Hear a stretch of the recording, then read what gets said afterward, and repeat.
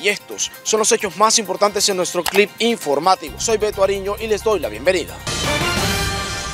Varios proyectos de formación artística y cultural se implementarán en la capital del Cesar, así lo anunció el ministro de Cultura Juan Carlos Correa en su visita a Valledupar. Lo que queremos es fortalecer a esas escuelas que ya lo hacen, insisto, para que atiendan niños y niñas y jóvenes después de la jornada escolar. Es decir, así como entramos a la jornada escolar, consideramos que un niño, una joven o un joven cuando sale a las 4 o 3 de la tarde del colegio debería tener un destino que en el fondo es el mismo destino que tienen los niños del privilegio. Los niños del privilegio les pagan clases, les pagan clases de natación o de música. Los niños populares pues no tienen cómo pagarles clases. ¿Y qué es lo que queremos?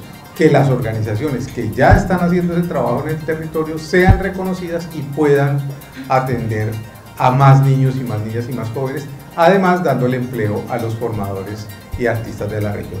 El segundo anuncio tiene que ver con algo que es mérito absoluto del alcalde y de su secretaria de Cultura y es la recuperación del teatro César.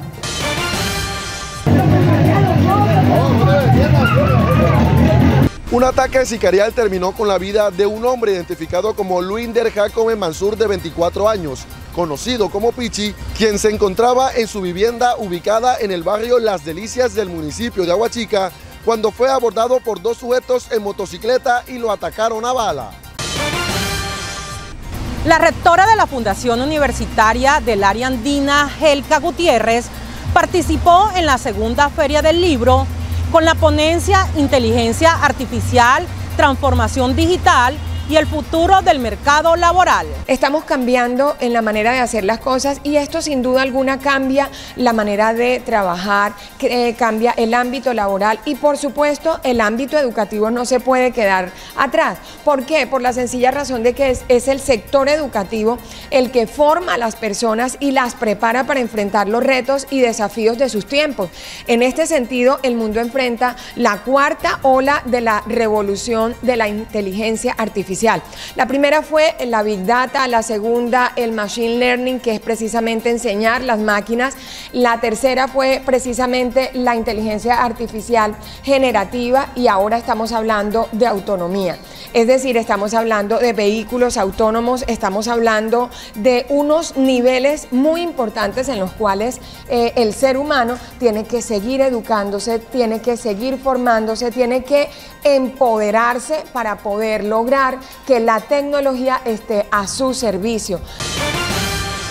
Cuando se encontraba lavando ropa al interior de su vivienda, una mujer identificada como Nelvi Cecilia Escorcia Camargo de 46 años murió al recibir una descarga eléctrica en el municipio de El Paso. El alcalde Hernán Vaquero dio inicio a la estrategia Codazzi Bonito, proyecto que beneficiará a más de 200 emprendedores donde emprenderemos progresivamente múltiples programas para darle orden, para darle seguridad, para darle educación, salud y desarrollo económico a todo nuestro municipio. Hoy lanzamos la estrategia de eh, caracterización, inscripción y de motivación para una serie de, emprendimientos que se vienen generando en la, región, con el ánimo de formalizarlos, con el ánimo de certificarlos y con el ánimo de que puedan emprender un camino de sostenibilidad en cada uno de sus negocios, que terminará con unos incentivos, indudablemente económicos, y que terminará en la gran feria que se realizará en el marco de las festividades folclóricas, culturales y religiosas del municipio de Agustín Codazzi, que es en el mes de agosto.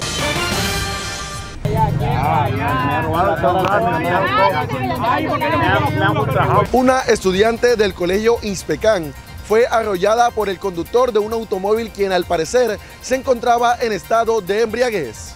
La comunidad evitó que este sujeto se diera a la huida y quedó a disposición de las autoridades competentes.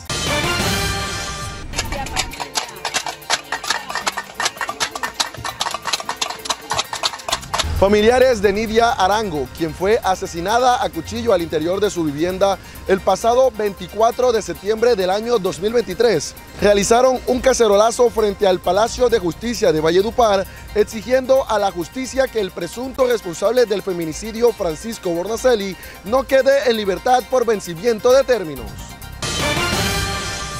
Luego de cuatro días de intensa búsqueda, en jurisdicción del Banco Magdalena fue hallado el cuerpo sin vida de Luis Miguel López Cortés, el menor de 14 años quien murió por inmersión en un río el pasado lunes 3 de junio en el municipio de La Gloria.